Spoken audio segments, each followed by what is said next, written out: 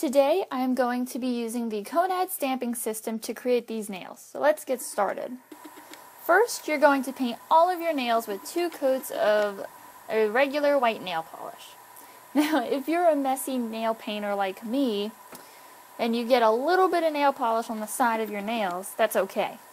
Just use a cotton swab dipped in a little bit of nail polish remover to clean it up. You will definitely be needing a bunch more cotton swabs in a little while to complete this design.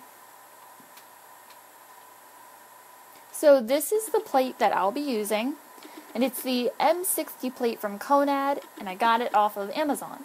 So we'll be using the Argyle design, and you're going to take your nail polish and dab a little blob of it at the top of the design, and then scrape it downwards.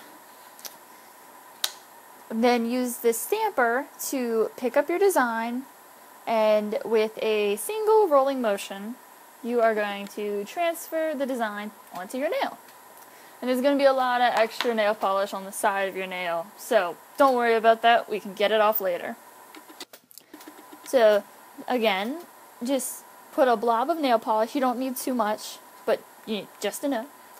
Scrape it, and then stamp it, and transfer. Yeah. It's actually pretty simple.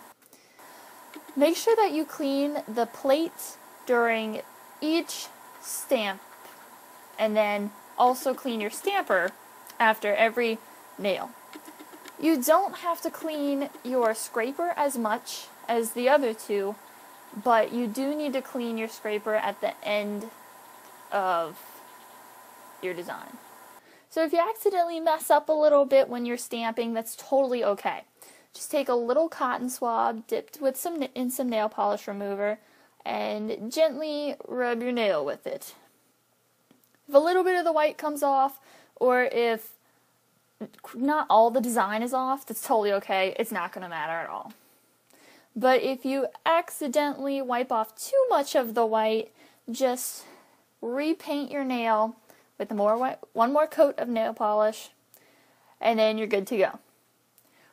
Once it's completely dry, and make sure it's completely dry, then you can restamp your nail, and it'll be good as new. See? Then you're going to want to clean off the extra nail polish around your nail with another cotton swab dipped in a little nail polish remover.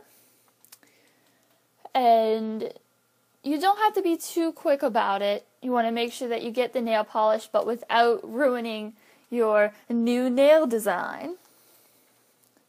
Then you're gonna want to remove all the nail, extra nail polish from around all of your nails with basically the same cotton swab dipped in nail polish remover.